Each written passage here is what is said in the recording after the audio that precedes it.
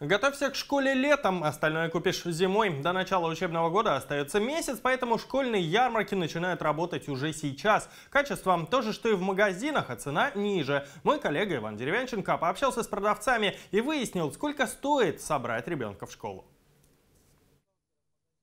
На прилавках ручки, карандаши и тетрадки на любой вкус и цвет. Есть из чего выбирать. Не за горами 1 сентября. Тем, кто еще не успел собрать внушительный список вещей в школу, самое время поторопиться. Ну, вообще, первоклассник, ну, тысяч пять только на канцелярию на одну. Потому что там надо и картон цветной, и пластилин, и карандаши цветные, как бы все тут. И списки огромные от учителей. А чем старше класс, тем, как говорится, меньше. Четкого списка для школ нет. Разные дресс-код и канцелярия. Однако сумма у родителей первоклассников примерно одна и та же – 20-25 тысяч рублей. Несколько пар штанов и юбок, рубашки, жилетки, рюкзак со сменкой и пеналами. Перечислять можно бесконечно, но кошельки не резиновые. Поэтому спрос на ярмарках высок. Вещи те же, а стоимость ниже.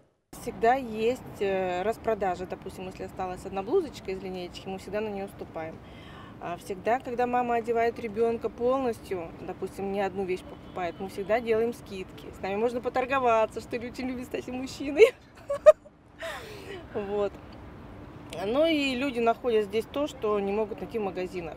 Мария Салькова пришла на ярмарку за блузками для Варвары. Девочка из прошлогодних вещей выросла. Онлайн покупать вещи не всегда удобно. То доставка задержится, то придет некондиция. А здесь и примерить сразу, и договориться насчет цены.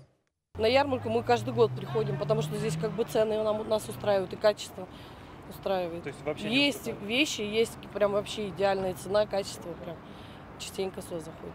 По данным Департамента образования мэрии Новосибирска, в этом учебном году более 220 тысяч ребят пойдут в школу, 24 тысячи из которых первоклассники. Иван Деревянченко, Данил Колпаков, Новости ОТС.